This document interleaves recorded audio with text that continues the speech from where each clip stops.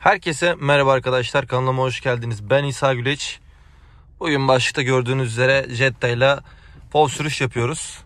Şu anda görüyorsunuz arızalanmamız yanıyor. Bunun da uyarısına bir bakalım. Size göstereyim.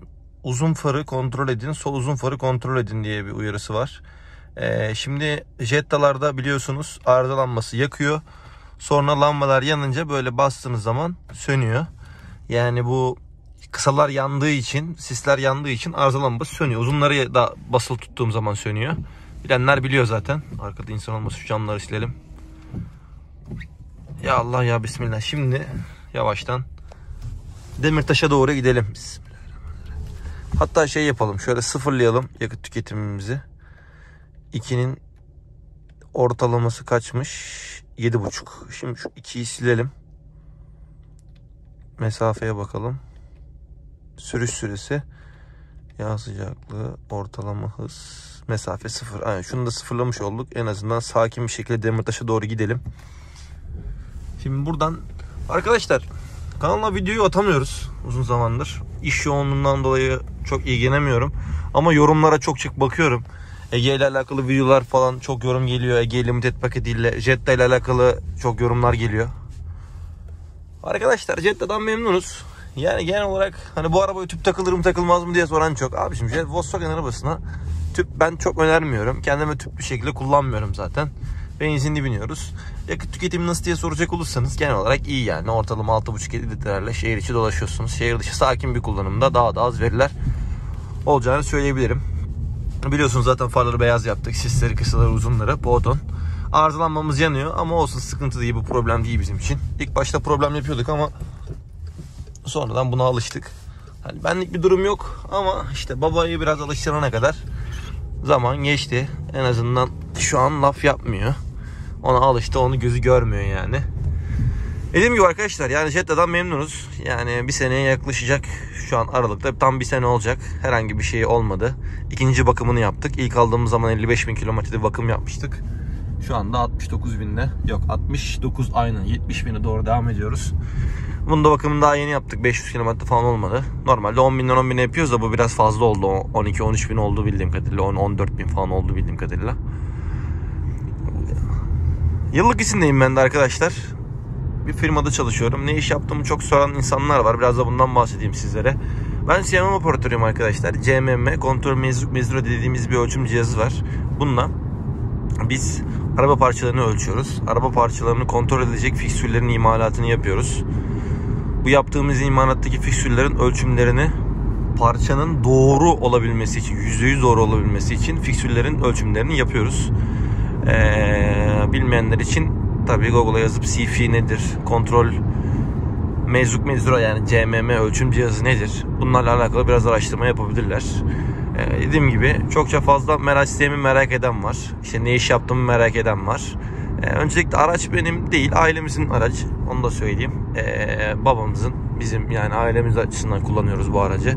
Kendime ait bir aracım yok. Kendime ait bir 50 cc motorum var. Uzun zamandır 50 cc motor alıp satıyorum. Biraz biniyorum falan filan. Durumuma göre şeyler yapıyorum. Kendi kendimi döndürmeye çalışıyorum. Fabrika gidiyoruz çalışıyoruz. Yani başka bir şey yaptığımız yok. 2 yıllık otomotiv bölüm mezunuyum zaten bilenler bilir. Bununla alakalı da çokça videolar çektim YouTube'a. Yani 2 yıllık e, yollar da bozuk bu arada. 2 yıllık üniversite okunur mu okunmaz mı? Çok da uzun zamandır DGS denedim ben. 2 sene arda da DGS'ye gittim. Biraz kendi hayatı hikayemden de bahsedeyim sizlere. Ona da güzel bir başlık yaparız. İşte Jetta Pov ne işte ne iş yapıyorum öyle yazarız öyle bir başlık falan yazarız hayat hikayem falan arkadaşlar yani okumak okumanın hiçbir zaman zararı olmaz. Beni izleyen izleyiciler küçük yaşta abilerim kardeşlerim. Yani abi okuyun abi. Okumanın hiçbir zaman zararı olmaz. Sizlere katkılı olur katkıları olur. Hani ben okumamanın e, ceremesini çekiyor muyum? Evet. Yani bir makine mühendisi olamadım. İçimde kaldı. Ama onun için yarıda bırakmanın bir anlamı yok. 24 yaşındayım. Daha bu işi yarıda bırakmayacağız Allah'ın izniyle.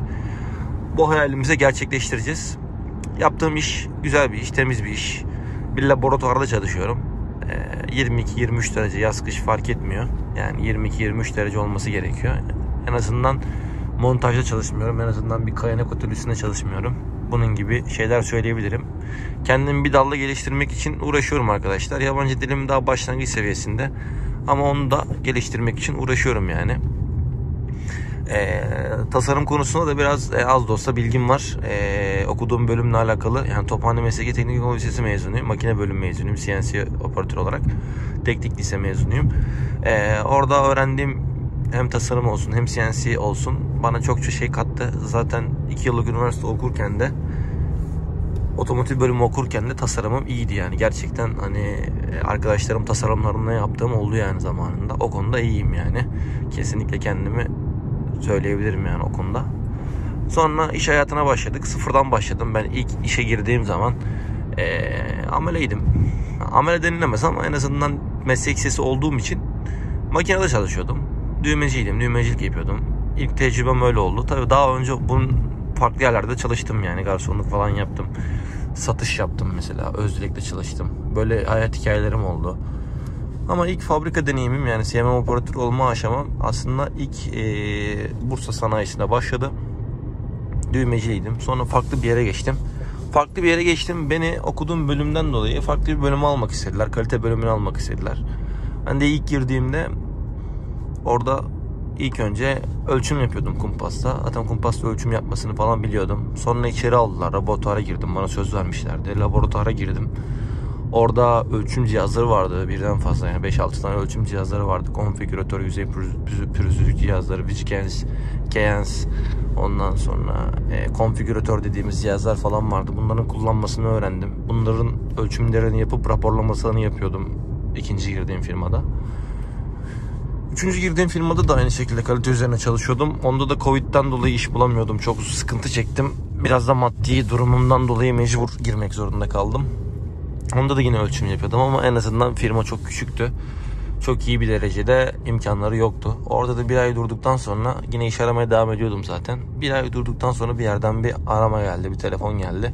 O da en son çalıştığım yer. İşte gel bir görüşelim, gittik görüştük. Biz dediler seni eğitmek istiyoruz CMM konusunda. İşte bizi yarı yolda bırakma. O zaman da askere gitmemiştim zaten. Tamam dedim siz dedim bana bu işi öğretin. Ben dedim sizlere dedim askerliğimi de yapacağım. Bu işi dedim öğretin bana dedim hakkımı verin. Tabii ilk girdiğim zamanlar çok 5,5 lira askeri ücret ben 6 liraya alıyordum yani o zaman düşünün.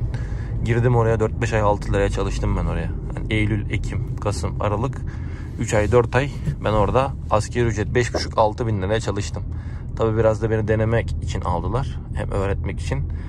4 ay geçti. Ocak'ta zam geldi. %100'den fazla zam aldım o zaman. Ama yine de elhamdülillah iyiydi yani aldığım zam Ocak'ta.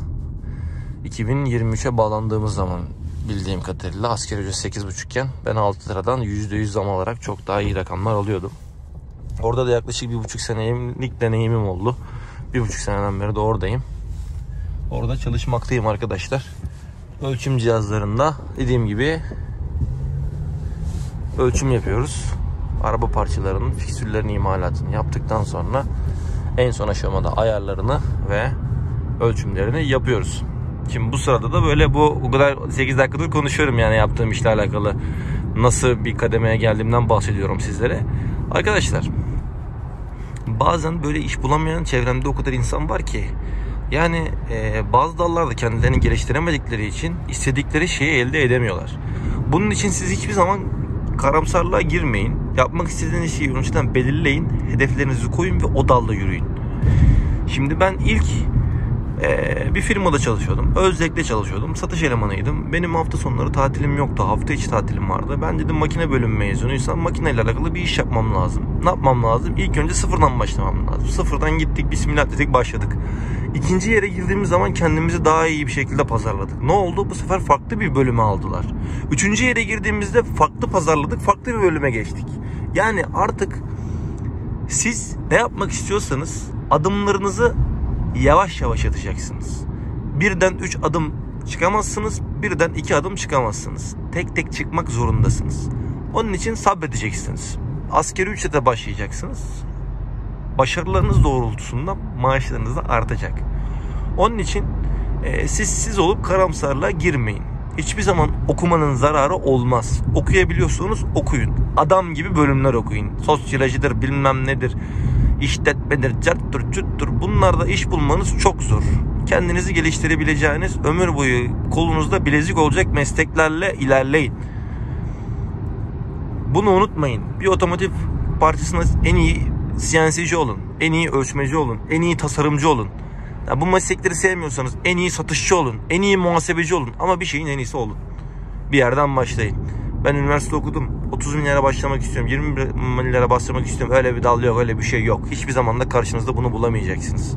Bunu da söyleyeyim. Bu videoyu kimler izler? Jetta meraklıları izler. Belki yani bu videonun başlığı ne olur bilmiyorum ama konuşacak o kadar şey var. Ee, yani çok da fazla uzatmanın bir anlamı yok.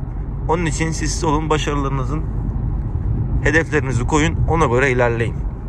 Yani şimdi Bursa terminalinin oralardayım. Demirtaş'a doğru döneceğim. Kanala abone olmayı, yorum yapmayı, beğenmeyi unutmayın arkadaşlar. Kendinize çok iyi bakın. Böyle de güzel bir pol sürüş olmuş olsun. Güzel bir tanıtım olmuş olsun. Bir de yakıt tüketimimizi görelim yani. 4.3 bak beraber geldik buraya. Kaç kilometre geldik? 8 kilometrenin ortalaması 4.3. Bakalım 4.2. Böyle yavaş geldiğiniz zaman benzinli arabayı böyle yavaş kullandığınız zaman da yakıt tüketim verileri düşüyor. Onu da söyleyeyim. Pamuk gibi basıyorum. Bununla alakalı yakında video çekeceğim. Kendinize çok iyi bakın arkadaşlar. Allah'a emanet olun. Görüşmek üzere. Bu selektör de size gelsin. Nasıl?